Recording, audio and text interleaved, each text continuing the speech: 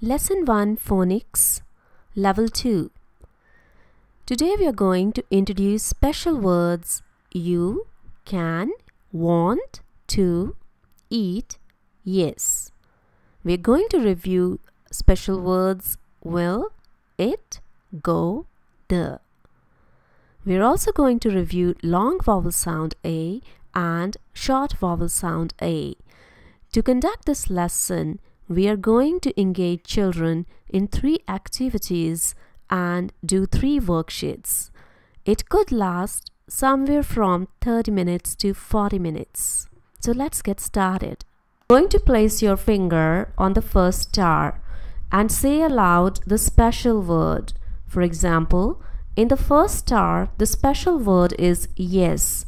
So you can put your finger on the special word yes and repeat it twice. Say yes and let the child repeat after you. Once the child has repeated the word twice after you while you were putting your finger on the word, ask the child to see if he could find the similar word on the worksheet. Once the child is able to locate the word, give him an option either to color the star with the same color or match it with a line.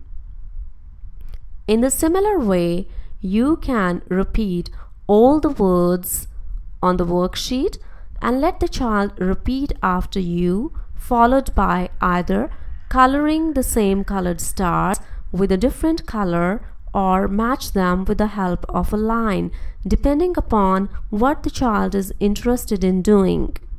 Once you have completed this worksheet, you can move on to worksheet 1A.